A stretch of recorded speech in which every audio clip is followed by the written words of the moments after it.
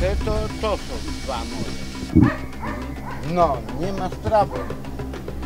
Ale mówię od razu, po co idą, rzucają.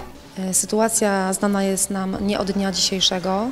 W okresie kilku lat e, właściciel nieruchomości e, nienależycie zabezpiecza swoje psy. Te psy latają, starsza pani z synem, te psy latają po posesji, wychodzą z tej posesji, no i dokonują pogryzień, tak, pogryzień ludzi.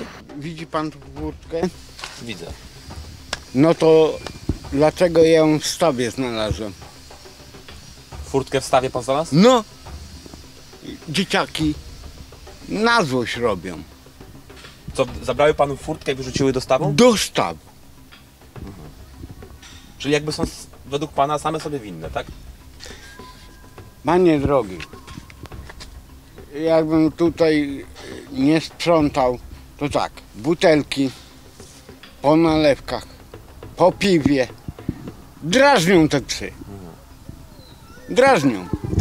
A pies się broni. O, jest. Na bieżąco prowadzimy, y, tak jakby monitorujemy sytuację, próbujemy, dążymy do tego, aby dobrowolnie te zwierzęta tej pani odebrać, ponieważ nie mamy też takich środków prawnych, że możemy wejść na teren nieruchomości i przymusem y, te zwierzęta odebrać. W ostatnim czasie odebraliśmy dobrowolnie 13 psów, one pojechały do schroniska.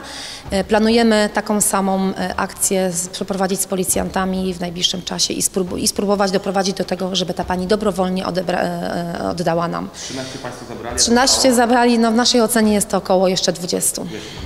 Niech pan posłucha, jak przyjechał weterynarz zabrać psy, i on osobówką przyjechał. Osobówką. Przecież ja by, wszystkie bym oddał, no. Pan oddałby wszystkie? Ale Pewnie. to są psy podobno pani tu właścicielki. Tak, tak, to co są matowi, bo ja mam tylko trzy. Pan ma trzy. Trzy. A mama ma ile? No nie wiem, ja nawet nie wiem ile.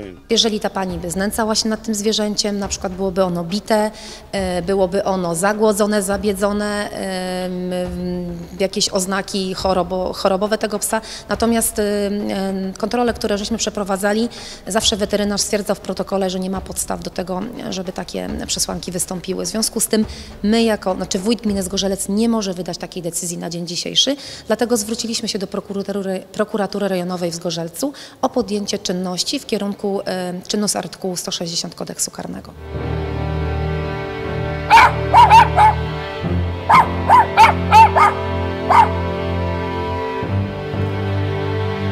No nie, Latują tu do pana na podwórko? niech pan Czy sobie wyobrazi, jakby pan miał u sąsiada na górze 48 psów. Albo gdzieś po sąsiedzku. A próbował pan rozmawiać z sąsiadką? Czy... Nie, nie, z nimi się nie dogadasz tego. Jest patologia, rodzina alkoholicka, także tam się nie dogada z nikim. A mamy takie pytanie, a czy mamy, bo może pan zawołać, żebyśmy z nią porozmawiali? Nie. Nie da rady? Napita jest, no. Co będę ukrywał. No jest batacha w tej chwili, tak ich nie widać, nie? Ale nieraz jak one wszystkie wybiegną, to jest ich sporo. Co ja mogę? Jak przyjechał ostatnio, oddałem pięć, mama wróciła, więcej nie oddaję, więcej nie oddaję. Co ja matkę będę bił?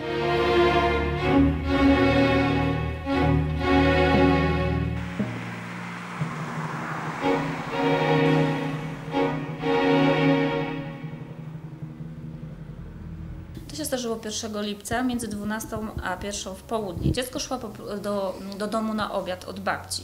Zostało zaatakowane przez bandę psów. Miało do przejścia kilkaset metrów. Tak, 500-600 metrów miał do przejścia. Został zaatakowany ze 100-200 metrów od domu, od bramki. Także został pogryziony. Udało mu się wytrącić z tej watachy psów, przeskoczyć przez płot. My zbiegliśmy do dziecka.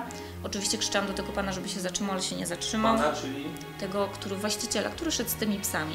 Ukąsały go w trzy miejsca, w rękę, w udo i pod kolanem miał najbardziej. Ten największy pies podbiegł jak już on uciekał, to go dobiegł, y, dobiegł do niego po prostu jego ugryzł. To był taki wilczur, trudno go y, opisać, bo to tak się szybko wszystko działo. Do tej pory przechodzi y, serię zaszczyków, to jest pięć zaszczyków przeciwko wściekliźnie.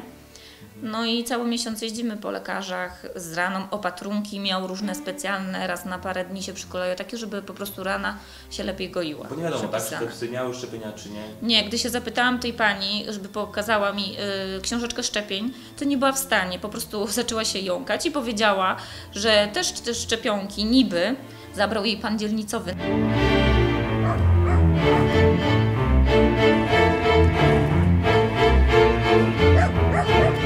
Każdy ma psa jednego, dwa w ogrodzeniu i to są psy zawsze zadbane, najedzone, a nie biega, nie wiem, 10-15 psów taka banda i się od razu rzucają na człowieka, tak? Psy w Wierzmankach nie miały szczepienia, ale w obecnej sytuacji pracownik Inspekcji Weterynaryjnej i Urzędu Gminy y, pracują nad tym, żeby pani zaszczepiła te psy i na następny czwartek są umówieni w sprawie sprawdzenia posiadania przez panią zaświadczeń lekarskich odnośnie zaszczepienia psów, które znajdują się na, jeszcze na jej posesji.